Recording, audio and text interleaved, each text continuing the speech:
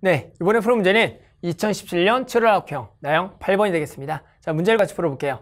자, 이번 문제는 닫힌 구간 마이너스부터 2에서 정의된 함수 yfx 그래프가 이제 그래프 그림과 같을 때요. 우리 뭘 구하나? limit 마이너스 1에 대한 우극한의 fx와 1에 대한 좌극한의 fx의 극한값을 구하라 문제죠. 자, 우리 뭐 하시면 돼요? 마이너스보다 이제 왼 어, 마이너스 우극하니까 마이너스보다 오른쪽에서 우리 이 그래프를 따라 쭉 도착하는 값을 구하면 되겠죠. 따라서 마이너스 오른쪽에 쭉쭉 와서 도착하는 y값 얼마가 된다? 0이 된다. 이렇게 읽어내시면 되고요. 그 다음에 1에 대한 좌극한이죠. 1보다 왼쪽에서 우리는 그래프를 쭉쭉쭉 가다가 1에서 도착하에 해당하는 y값을 읽어내면 되겠다.